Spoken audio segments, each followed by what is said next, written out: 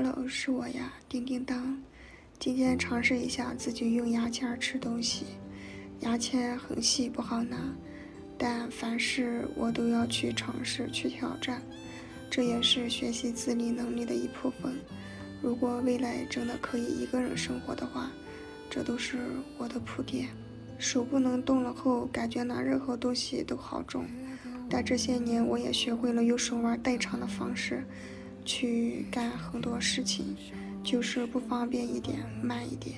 回想起来，自己刚出生的那段时间里，天天需要我妈喂饭的日子，现在的我真的比那个时候好了太多了。以前呢，可能是再也回不去了，但我希望未来经过漫长的康复训练和不懈的努力，我能如愿的一个人生活。自理能力，不再麻烦身边的人照顾我就好。